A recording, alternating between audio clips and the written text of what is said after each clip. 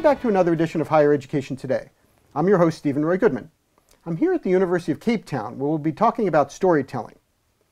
Omar Badsha is a photographer and artist. He's also the founder of South African History Online.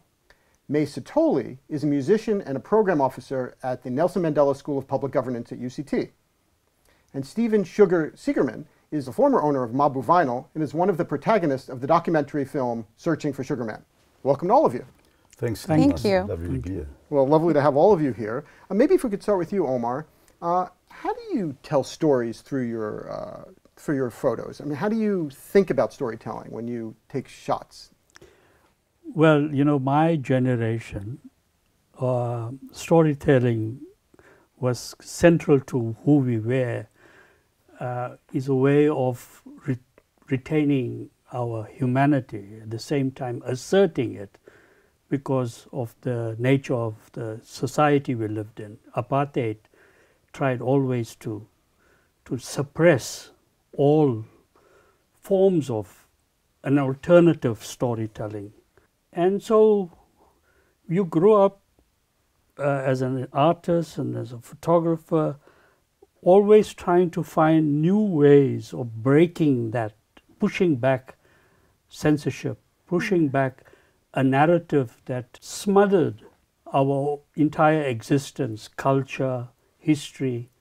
So, history was a very important part of recovering ourselves as human beings. So, storytelling for, for us, or for me in particular, was to assert one's humanity, one's right, one's agency, and to then find ways to create a new audience, to, to, to begin to mobilize people. So, storytelling was not just about memory and about creativity, but also to mobilize people. And so that's my background. I come from a time when I was, uh, from the time I was in high school in 1960, I was part, became part of the liberation movement. And so everything revolved around communication, telling stories, telling it in ways that allowed people not just to follow things, but to be critical of what was happening around you. So, as a photographer, one had to find ways in telling to assert one's new humanity because as black people we were represented in, in the most negative ways in the mainstream media. And so when you began, when I began to take work as an artist or as a photographer, what was important was to be able to show people as agents of change or of people who had dignity and not just being victims of the situation.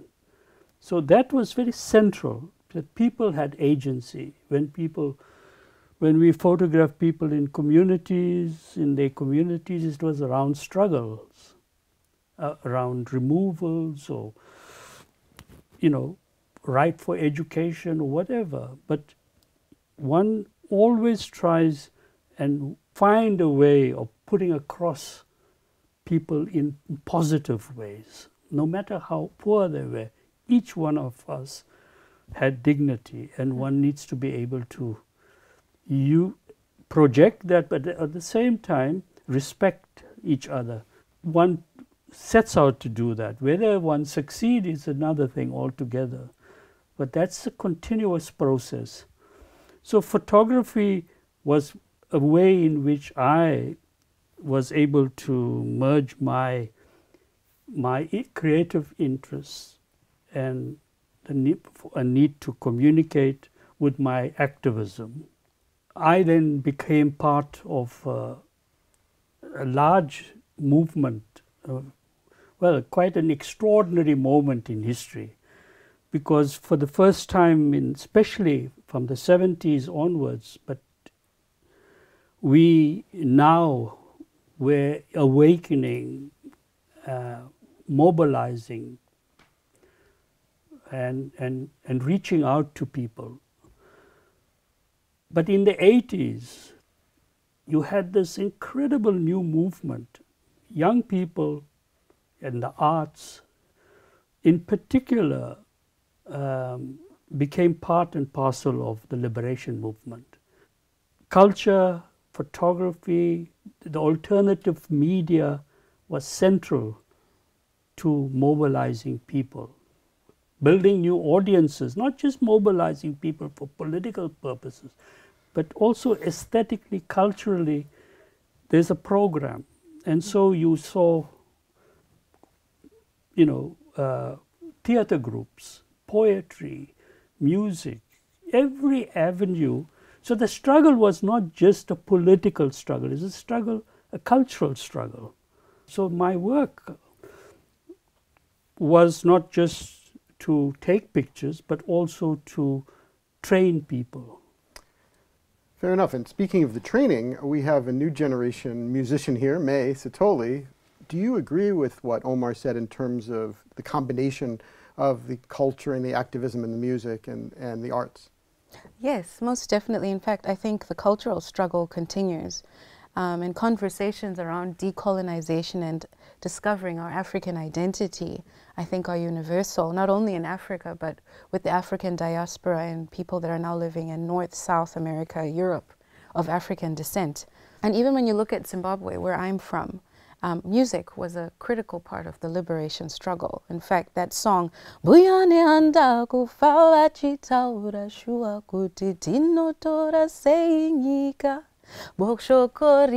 ramakati utsa tora.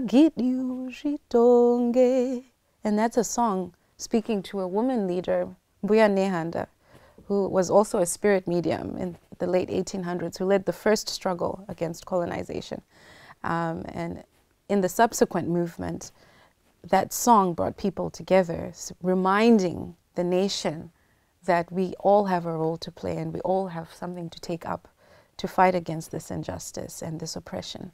Um, and I think that continues even today. My own music um, intentionally picked up the mbira instrument, which is a traditional Zimbabwean instrument.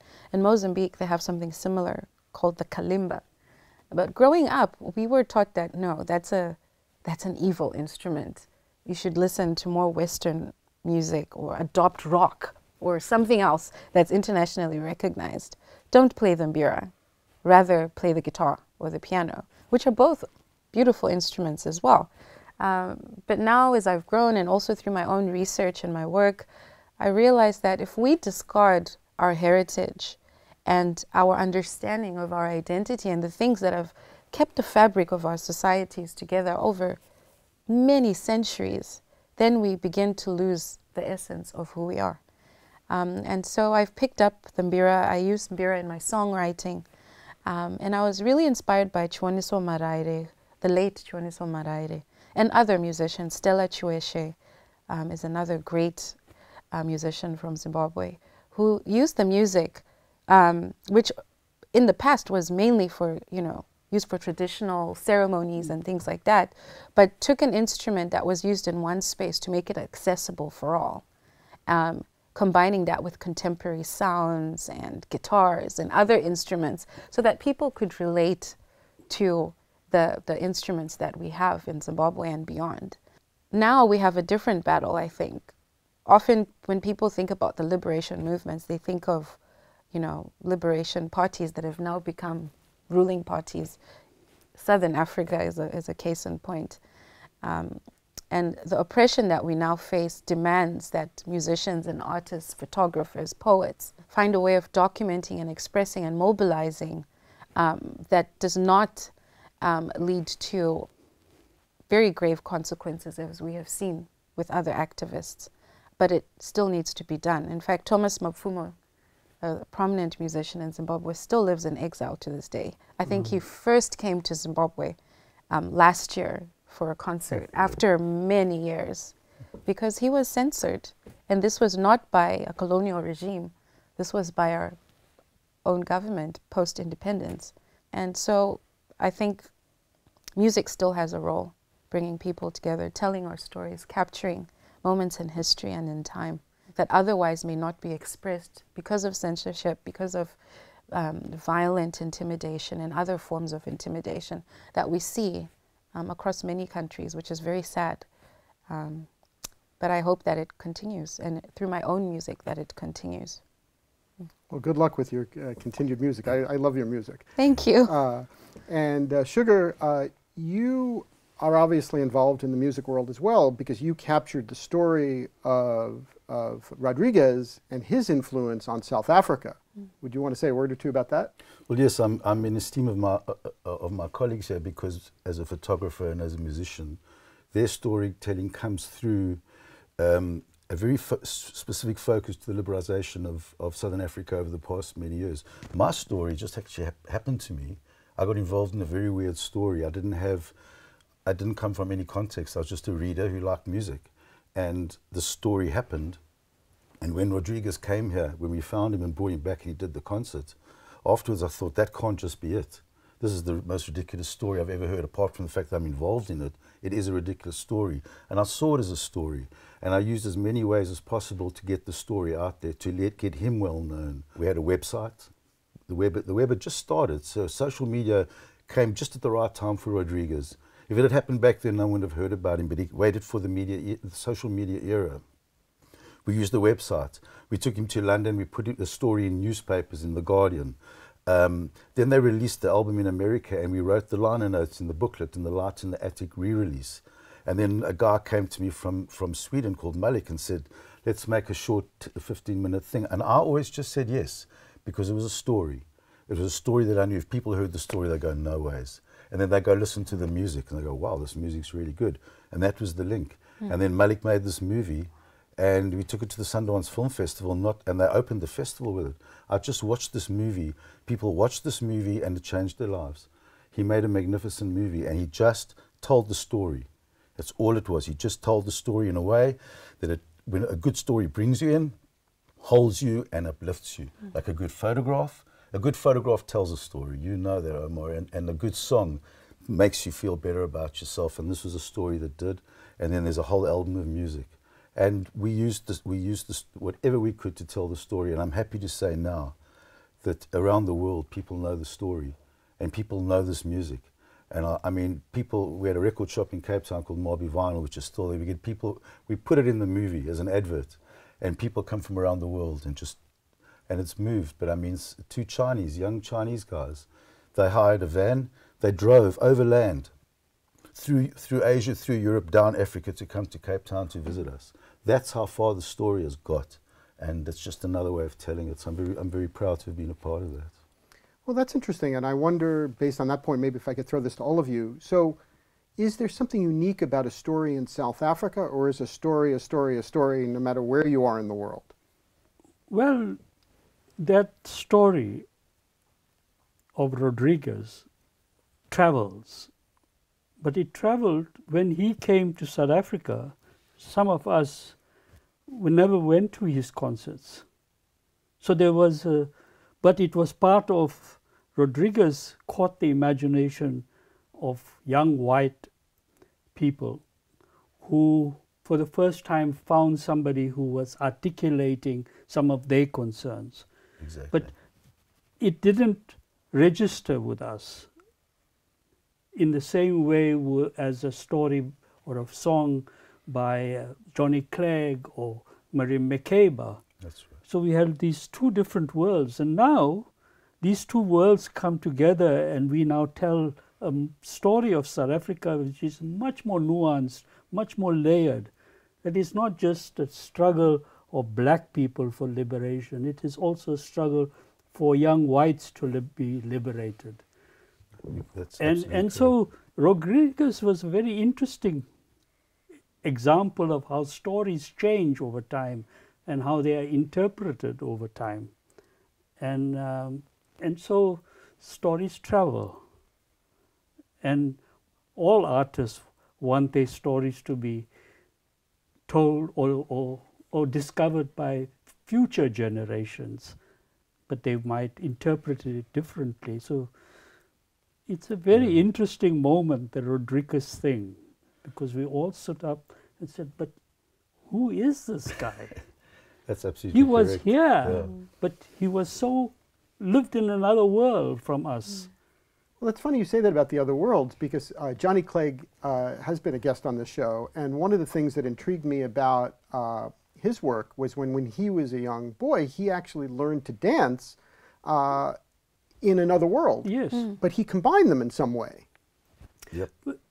it's it's what's important is that we lived in very compartmentalized worlds very very strictly compartmentalized physically but psychologically and for us to be able to begin to hear new words new stories new experiences one has to begin to have uh, to, to expose oneself.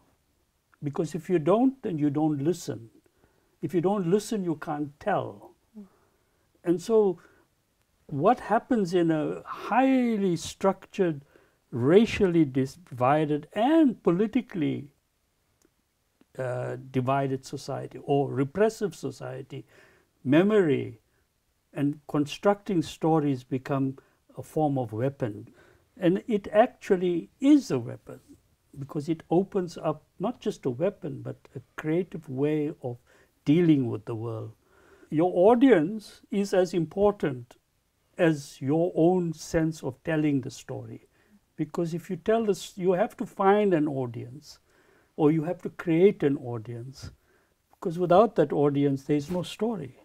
It's interesting you say that because the other night I went to a, uh, a performance, a young perfor- a perform, and I saw some young performers, and they were singing about stories that I hadn't heard in South Africa before. And I couldn't tell whether it's because I'm not South African, even though I know a lot about South Africa, or it's because I'm not 21. And I couldn't tell, but maybe this storytelling does ebb and flow, and maybe there are lots of ways of, of presenting ideas. And in, in, in Mae, in your music, do you try to capture different generations into what you're trying to communicate as you're creating a song? Yes, um, but I think I don't intentionally set out to say um, which audience do I want to capture when I'm writing a song. It's a creative process. If anything, I like that process to connect quite authentically with my own emotions and thoughts on an issue. So I'll give you an example. I, I um, wrote a song called House of Stone. Um, House of Stone is the Zimbabwean translation of Zimbabwe. Zimbabwe means Zimba Zimbabwe, House of Stone. Um, and the song captured the moment just before President, former President Mugabe stepped down. I wanted to capture the emotion, the hope, uh, the sense of togetherness in the country. People of all races, languages, cultures um, came together to march for the first time in, wow, my mom said it reminded her of 1980. The song was quite emotional for me because then the chorus speaks to a ceiling being removed, and suddenly, you know, the dark times have gone, um, and now Zimbabwe can arise. Zimbabwe can arise. This house of stone will rise. I found that it resonates not only with Zimbabweans, this song, because people from Cameroon have experienced a similar kind of um, government and, and, and political developmental challenges in Cameroon, in Uganda, in a number of countries across Africa that are experiencing this struggle. Even in South Africa, what we now call the dark years of corruption in, in South Africa. People also marched against that, say this is not what we envisioned in 94. We can't allow this kind of impunity to continue. The song in itself resonates with the spirit of activism, the spirit of saying no to injustice, no to a lack of accountability amongst leaders in Africa and beyond. And so I think often the human emotions and the human connection is beyond context uh, in a way that one would classify an audience or um, a, a commercial base. Oh, you know, I'm writing this song for 14 year olds. It has to sound like, you know, it has to have this particular beat or this electric riff. And uh, no, it's not like that. I think emotions resonate across cultures and across space and across time. People like Johnny Clegg um, were influential to me as a child. Brenda Fassie was influential to me as a child and recognized within Africa as, as, as musical um, leaders of change because of the emotions they evoked um, in the hearts of people and in our hearts and still evoke in our hearts. Interesting. And uh, Yeah. Sugar, do you have a thought or two about that? Well, I agree with that because Johnny Clegg, I mean, don't get me started on Johnny Clegg. I, I've followed him since Hilton Rosenthal brought out the first Juluka album. Blew my mind. The thing about Johnny Clegg emphasizes, I think, about the important thing about songs and photography is tell a story. Tell a story. If you can tell a story, it's so much more interesting. And Johnny Clegg told us stories that we didn't know. He told us about the, Zulus in the hostels, and he told us about the dancing, and he told us we didn't know. We lived in a compartmentalized society. It was you didn't know about Rodriguez, we didn't know about about that stuff, and it was these guys. It was through the music, surreptitiously that we found out what was going on. So we all ended up, you know. But that was so important, Johnny Clegg, you know, and that's very important. I think, yeah. I mean, you were in Zimbabwe, and he was, and Brenda Fassie. She also told stories, but not similar stories to Johnny Clegg. I don't think. Yeah. Mm. Symbols are very important. You know, today we we look at world where thousands of people are migrating under incredibly difficult conditions, and it links us to the journeys of slaves, of hmm. indentured, of people. And while we might not understand the language that each one speaks, we are understanding their experience from our own understanding of our past to say, but that is wrong, what is happening. And then you get a musician who, who bridges all of that. Uh, or, you know, uh, and most cases, the greatest storytellers are musicians That's agreed. you know, that helps unite us and have empathy for a human condition. But we have to open our child, ourselves and our children to learn to look at the world afresh and not be uh, determined largely by what our own experiences are. You know, one needs to be liberate, and the arts are one of the most powerful ways of liberating one's imagination and opening us to to to see the other as human. In South Africa, that was the moment in the 1980s where you you were able to reach out to thousands and thousands of people through so many ways through literature, poetry, performance, and people listened and understood and become active in building solidarity. And so, you know, storytelling is also about that to be human, to understand and have solidarity or empathy for the other. It's uh, something that we all the time marvel at, but we don't think about it enough. You know, we, we react to it, but we don't think about how important it is to remember and to then articulate something. Yeah, I think it's um, off to you, man.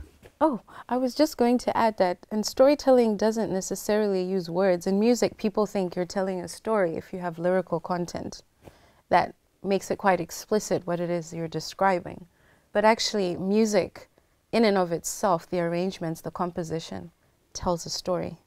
One may connect quite easily with Latin American music or Ludovico Einaudi, a European composer, or, you know, um, music from India or Japan, simply by listening to the music and how it, you know, uh, crescendos and decrescendos and, and builds and softens and the notes that they choose to play, minors or majors, and the mood that is set by the songs. Um, and that is a universal language Yeah. that evokes emotion and connection amongst people, despite the fact that they may not speak the same language or come from the same um, cultural group or anything like that. Yeah. Agreed. In, in a sentence, I think our generation read books. New generation should put their phones down, pick up books, and read more stories. Well, I think we may need to leave it at that. Uh, this was a terrific discussion about storytelling. Uh, the three of you have had terrific careers, and I'm sure are going to continue to have terrific careers. So thank you for very, very much for coming on the show today. Thank, Thank you, you Steve. Thank Thanks you, very Steve. much. Thanks. Thank you. Thank you. If you would like additional information about Omar or Mae or Sugar, please go ahead and go to omarbadshaw.co.za or soundcloud.com slash mesatoli or sugarman.org. If you have comments or suggestions about higher education today, please go ahead and send an email to me at highereducationtoday at topcolleges.com. And thank you for watching. We will continue to bring you quality discussions about important matters in today's college and university world. I'm Steven Roy Goodman, and you've been watching Higher Education Today.